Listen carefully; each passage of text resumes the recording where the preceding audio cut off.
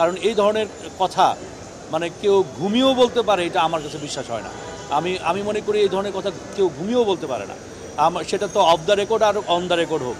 কিন্তু আমি মনে করি যে এই ধরনের কথা কেউ ঘুমিয়েও বলতে পারে না। এবং যারা এই ধরনের কথা বলেছে আমি মনে এটা এটা আসলেই এই ধরনের পদে পদে থেকে এই ধরনের পদে থেকে এই ধরনের কথা বলা আমি আহ, সত্যিই কষ্ট পেয়েছি। এবং এটি আমরা আমি মনে করি এটি শুধু শুধু সাংবাদিক সমাজ মর্মাহত হয়েছে, ব্যথিত হয়েছে, শুধু তাই নয়। এটি পুরো বাংলাদেশে আমি মনে করি প্রত্যেকটা মানুষ যারাই শুনেছে, তারাই কিন্তু এটা এটা আঘাত পেয়েছে মনে।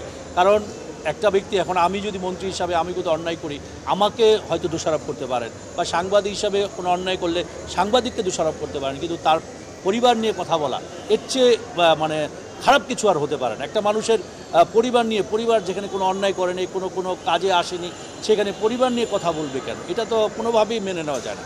এটা কোনোভাবেই এটা মানে মানে মানতে কষ্ট হয় যে আমার পরিবার আমার বাবা মা এখানে এখানে নিয়ে আসা হয়েছে। এটা আমি মনে করি যে একটা খুবই নিন্দনীয় কাজ হয়েছে।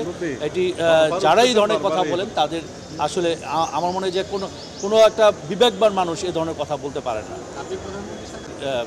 খেলোয়াড়রা যেভাবে আমাদের দেশকে খেলাধুলা এগিয়ে নিয়ে যাচ্ছে, পাশাপাশি এই ক্ষেত্রে সংগঠকদের অনেক ভূমিকা রয়েছে, পাশাপাশি সরকারের যুব ক্রীড়া মন্ত্রণালয় অত্যন্ত কার্যকরভাবে কাজ করে যাচ্ছে।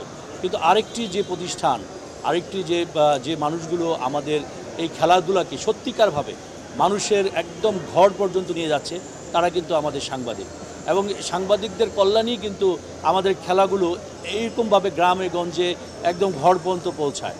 কিন্তু যেই সাংবাদিক ভাইরা আমাদের জন্য এত কিছু করেন, আমাদের খেলাধুলাকে এগিয়ে নিতে কাজ করেন, কিন্তু তাদের তাদের বিষয়ে এই ধরনের উক্তি, এটা সত্যি আমি শুনে আমি অত্যন্ত মর্মাহত হয়েছি, কষ্ট পেয়েছি।